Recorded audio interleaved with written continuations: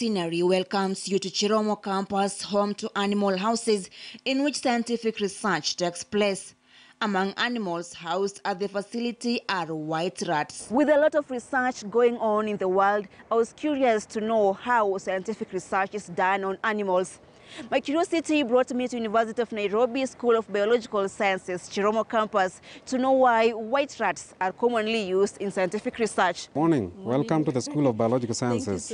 Professor Jacques Kabaru is in charge of the animal house. These are cages with rats in them. And um, these here are rats. It is clean and well maintained and looks nothing like what I had in mind. This particular room hosts different types of rats and mice. In one of the laboratories at the university, we meet Carol Murithi, a postgraduate student doing a research on how human beings behave after chewing miraa. We are assessing the effects of miraa on behavior and cognitive function. Mm-hmm. Yeah. on human beings? Uh, we cannot test on human beings immediately, so we test using mice, which are a good model, an animal model that we can use, which mimics uh, animal, uh, human behavior. Going, this is where our work area is. Yeah, this is a very closed area. You can see, like even the windows we've blocked, so that there is no noise and there's not a lot of movement. So that when we say that the effect is due to miraa, it's due to miraa and not uh, human interference. So, what made you come up with such a topic?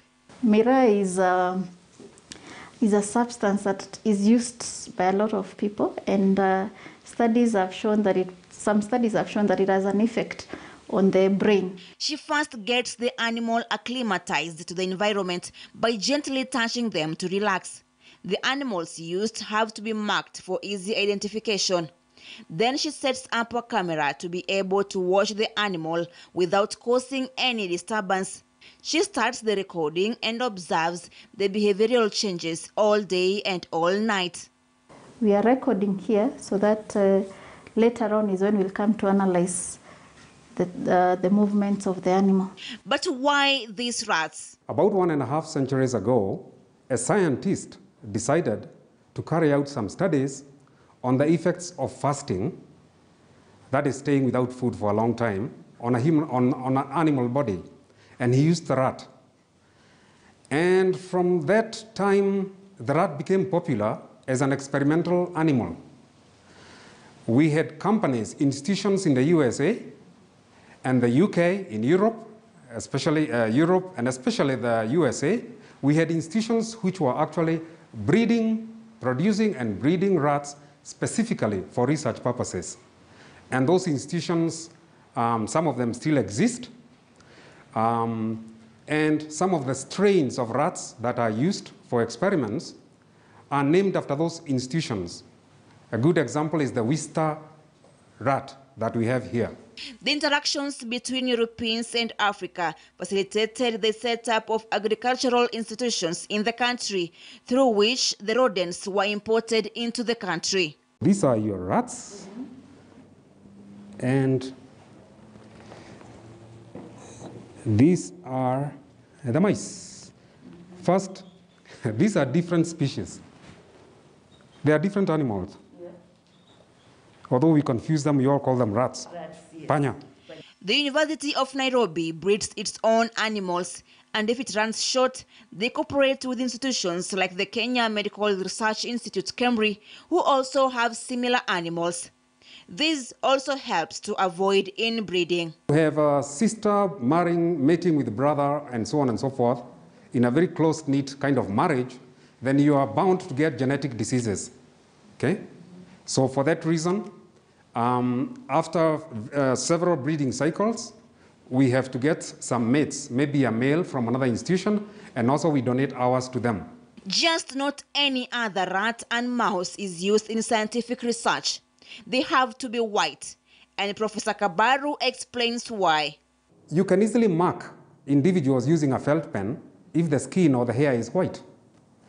If there are issues you are looking for, for example, effects like uh, inflammation, it is easier to see that on an, al an albino or a white, uh, white animal.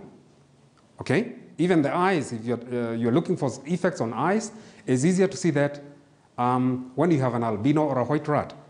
Nevertheless, it does not mean only white rats are used for research. We have brown, we have black, and even hooded ones, which are partially white and partially uh, black. These rats are used to generate answers to problems that humans face every day, and it is the task of the researchers to document these. The rats are mainly used, um, well, they are mainly used for um, uh, research of testing substances, including drugs, before the test can be escalated to the human level. Uh, for example, when a drug is being treated, you want to see whether that drug works, you want to see whether it is poisonous. The rat or the mouse would be the animal of choice before that, those tests are escalated to clinical trials or trials um, with human beings. And this includes even diseases like cancer, diabetes, hypertension. One can induce diabetes in a rat or a mouse and then try the new drug to treat the diabetes and so on and so forth. Okay?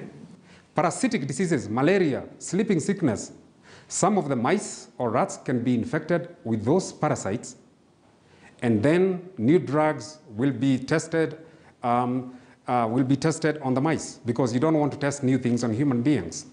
Animal rights are observed here to ensure no one injures them or uses them for undisclosed and sinister motives. The animal house must have good lighting, good aeration, clean water, and constant supply of food. So that is my daily routine work here. Joshua Agat is the animal house attendant who ensures that the rodents are well fed and looked after. He has been doing this job for eight years now. When I come in the morning, first thing I must check if there's any sick animal. I must open all the doors and check if there's anyone sick.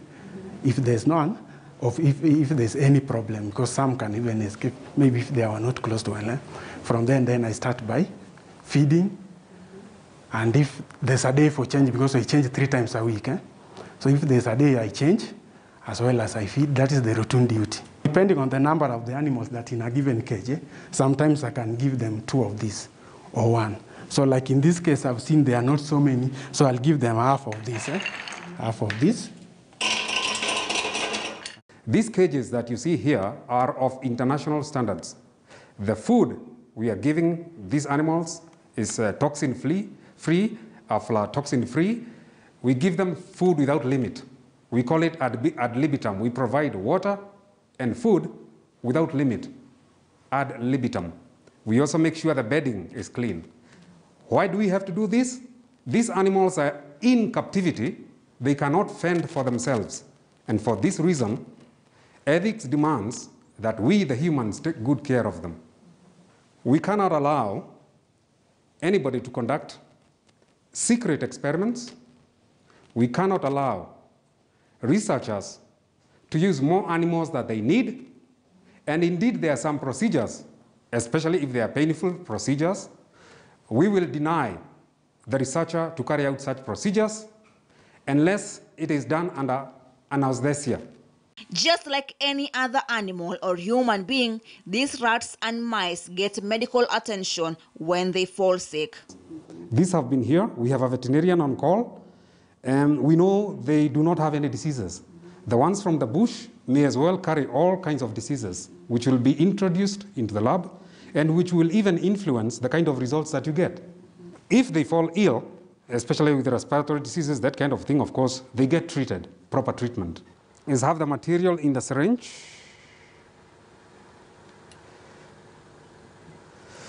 That's the material over there. It's just glucose, it's not harmful. For this kind of rat, it can take about 1.5 mLs, okay? 1 ml to 1.5 mLs. I have Mr. Matano here to handle the animal for me. For this kind of procedure, it's dangerous if you're doing it alone. You can easily uh, get bitten. All the same, I can wear a special apron and do it, okay? But since I have uh, the assistant uh, technician Matano, let him do it. He's going to restrain the rat using a special cloth. That cloth is, he's using is slip proof. It does not slip. It's called a slip-proof. Um, maybe you can let go and get another one. Are you fine? Yeah. So that's the way it is. Uh, the rat, of course, is protesting. That's normal. And this is what I would do. Um, I do not force it. Okay. This one is not. It's badly held, so you will, you will have to get another one. This is normal. If you're working with animals like rats, if you don't hold it properly, you do not insist. You let it go so that it can get less agitated, and then you pick another one. Okay? So that is normal in this our our business. It will protest like that, and then look carefully. I'm not going to push it through the mouth. I just make it taste the sugar first. It tastes the sugar first, and then look, the needle is going down almost by gravity. I'm not pushing it. I'm really not pushing that needle. Look at that. Now, what is happening now? It has literally, the, the needle is going down the, um, the digestive tract almost by gravity, and it's around the stomach here right now. Okay? You can see how well smooth it goes, and then only then do I depress the, do I depress the, the plunger very gently, very, very gently, and there we are. The needle will get out of the stomach, the esophagus, and the mouth very smoothly. And this is because you can see it is carved. This is not a mistake. It was designed to go through the mouth, the esophagus of the rat, and down to the stomach. So we've already treated that rat orally. Handling these animals has become a hobby for Professor Kabaru, who has been doing this since he was a student at the University of Nairobi. I've been doing it for more than 30 years, working with animals, manipulating animals, and um, I like it. The lab is well equipped with different tools to enable different research activities. There is an inhalation chamber in a case a researcher wants an animal to inhale vapor, and sometimes they administer substances to the animals orally. If one wants to test how toxic a drug or a substance is, depending on how it is taken into the body, the effects can easily be seen through the animal. In our facilities here, new insecticides or pesticides for control of both um, doo-doos in the, uh, in the farms and even on animals and so on and so forth. Partially, they are tested here on these animals before, uh, on behalf of government uh, regulatory agencies before they can be safely released um, into the market or even the FUCO, the molds. Still, you would have to test its toxicity so that it can be included in the label. So that we know what would you expect if a human being accidentally for example swallowed it? What will be the symptoms of the poisoning? Okay? And the results of these tests here are then included on the label. Keep away from children. Keep away from this. Wash your eyes you know that kind of thing if you get uh, contaminated and so on and so forth. Uh, for example you would want to know if a pesticide is being sprayed what happens if it falls on the sprayer's eyes? Do they get irritated or do they go blind? Okay? We are not the actual regulator, but we provide that data authoritatively. Animals from the wild are not used in scientific research as they may end up not giving you the uniform results desired. Different researchers all over the world should be using almost identical strain of animal. This way, the results obtained in Kenya will be acceptable in the US and vice versa. You can see how intelligent they are. They make their nest, and the survival is almost 100%. Besides the white rats, there's so many other animals that are used in scientific research, like rabbits. And also today, Professor Kabaru will explain the famous saying, do not use me as a guinea pig. Guinea pigs are docile, so they are very popular uh, for use in research. They, can, they, are domestic, they were domesticated a long time ago. Maybe in Kenya they are not very popular in homesteads, but in countries in Southern America, These are just eaten like kuku, like chicken. Very popular. The test, which is widely conducted on guinea pigs, is the test for skin sensitization or allergies. So you want to test whether beauty products, insecticides, and so on and so forth will cause allergies. The guinea pig skin, specifically the skin of the male, is used for that purpose. So if the substance is going to sensitize or cause allergy in human beings, it would cause an allergy on the guinea pig skin. They are even used as pets, as you mentioned. So, yeah, it's just protesting, but it's not feeling pain. That is a normal, if it gets too happy or angry, it makes that kind of noise. So these are used to living with human beings. In many countries, especially in um, South America, you would find them even in their houses, in the kitchen, you know, taking scraps all off the floor, just like a kitchen, uh, just like uh, uh, uh, cats or even the, coo- uh, the chicken. Okay, and they, they're used as food. People use them as pets, especially when you have uh, people who are disabled or uh, mentally a bit uh, disturbed or something like that, who need a lot of compassion and they need uh, a companion animal. So this can be used like the way people today are using puppies. You know, this, uh, what are they called? These uh, uh, chihuahuas and whatever. You may as well have guinea pigs around. Rabbit uh, is the animal of choice. Uh, for example, when you're testing for irritation of the skin of animals and eye irritation. As you can see, they have uh, these white rabbits here have um, beautiful white eyes. So you can, okay, they are pinkish and they are very clear. So if you apply a substance on those eyes and there is even the slightest irritation on those eyes, it will be visible. For skin irritation, these animals would have to be shaved. You would shave a patch of the skin and then treat with the substance and observe what happens for so many days. In addition to that, they are used uh, just to study anatomy and uh, as a source of blood and serum for other experiments. The rats and mice here play their role, contributing in guarding human health as it evolves.